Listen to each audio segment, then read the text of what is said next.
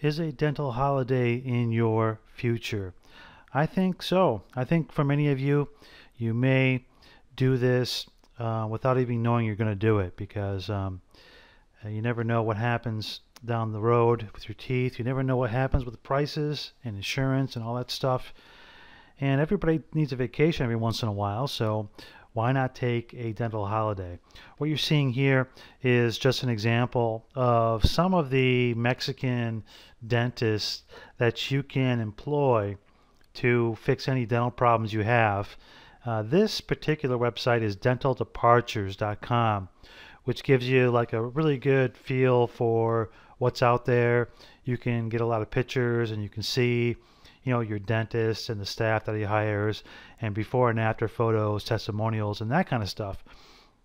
What's particularly interesting is that the it has a price list which is why um, I went here first to do some research.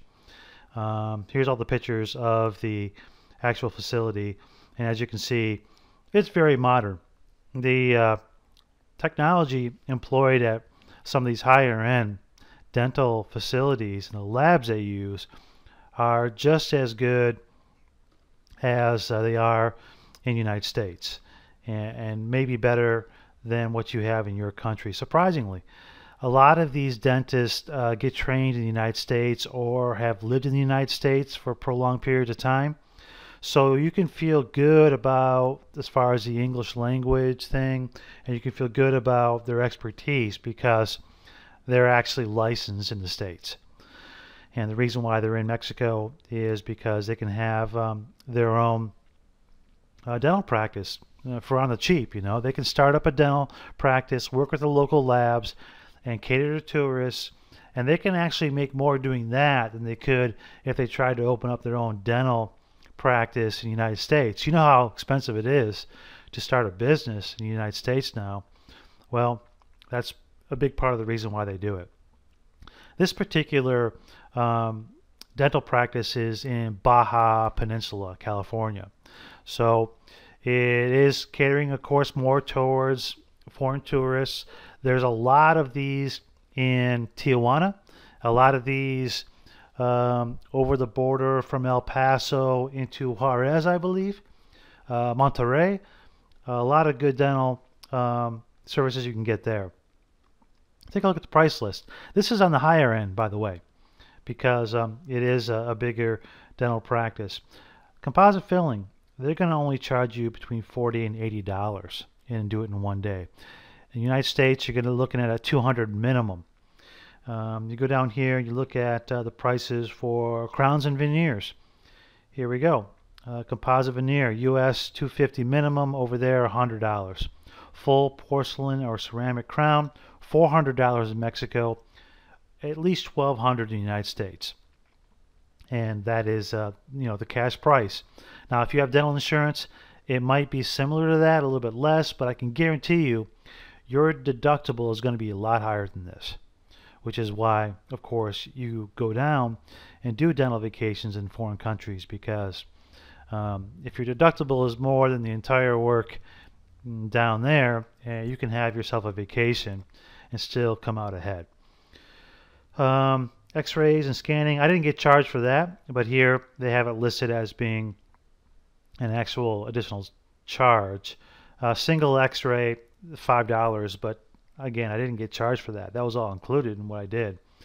Implants, they do those. They do all the more advanced techniques, sinus lifting. They do different kinds of implants. They do abutments and all that stuff.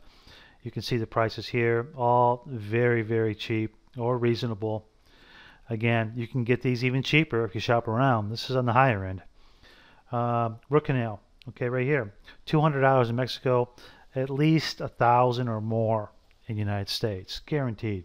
Root canal with treatment, 500 in Mexico, 2200 in America, and that means you have a post or you have a standard crown fitted on there. The materials will be extra beyond that, but this is for root canal, the treatment of um, the tooth area, um, getting it prepped and getting it fitted for the crown.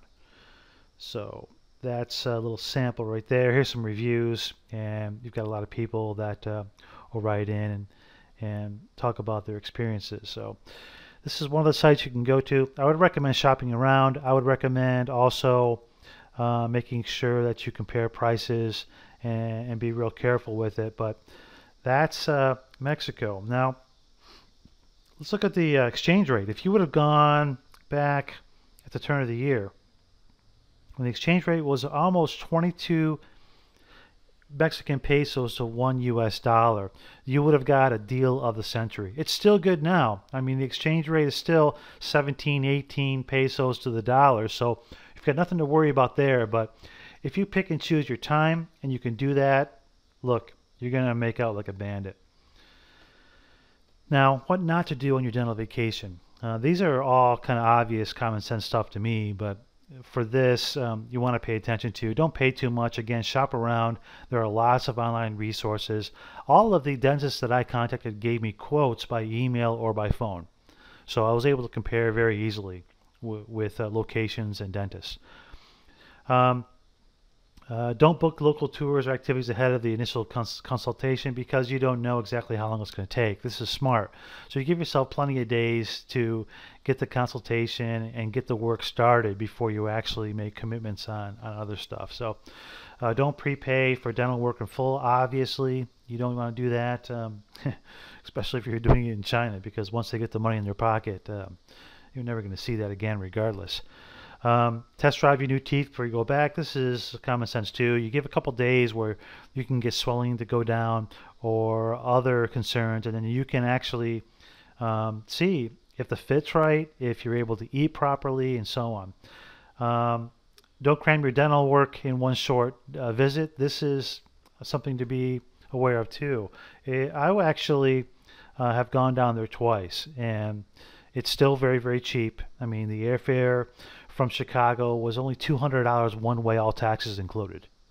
So that's not going to break anybody's bank at all. And the hotel, like I said, I showed you I was staying right on the beach. It was a lot cheaper than what you think. That room that I had that I showed you on the beach, overlooking the beach, uh, fifth floor, I believe, um, breakfast included, big breakfast buffet, everything uh, included. Uh, drinks were not included, but I don't really mind that. Um, I paid after taxes because it's the off season $70 a night. You can get stuff a lot cheaper than that, but that's for like more of a premium room. And um, you might want to spend, you know, several days at a premium location like that, and then spend several days at a more budget uh, location in the downtown area. Say if you're going to Mazatlan, for example. That way you can see both parts of the city. And when you stay more inland, it's cheaper you know, it, it budgets it out to being quite nice. So, um, and so yeah, they have also here the following six S's for dental holidays and work. Okay, um, uh, be sure that um, you pay attention, and you're not supposed to be snorkeling, sun tanning, smoking, um, eating spicy foods, soda. You know, so don't don't drink pop, stuff like that. All that should be avoided until everything is 100% in your mouth. Uh, don't walk around carrying your cash. This is common sense, you know, but even though they will take cash only, sometimes they'll take cards, but um, it just it just makes more sense to take a taxi or an Uber and not walk around with, your money. So, um, and get a written treatment plan. This is important. In other words, you want to have your x-rays. They'll give them to you. Most places now do it digitally and they'll email it to you. So you've got that for future work you're going to get done. That was included free with what I did. You can get it for free too. Um, and then uh, post x-rays, obviously, you can get those done or, or you can pass those up. I did not get those done because I know that um, the dentist is reputable and everything is a-okay. So I got everything in writing. I got my receipts when I paid in cash. I got my x-rays sent to me emailed digitally and had a great time and everything is done as well as anything I've ever got done in the States before. So let's take a look at exactly how much it did cost me. Okay, here it is. Root canal, oh, misspelled. 3,800 pesos. That came to being, with the exchange rate, what it is, just over $200. I think like $213. But usually, you're going to be right about $200 for the full root canal and prep.